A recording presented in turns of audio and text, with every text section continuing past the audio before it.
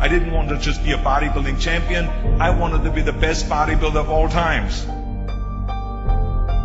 Dig deep down and ask yourselves, who do you want to be? Not what, but who. I'm talking about figuring out for yourselves what makes you happy. You have to think outside the box. That's what I believe after all. What is the point of being on this earth? Ready or not, here I come. You can't.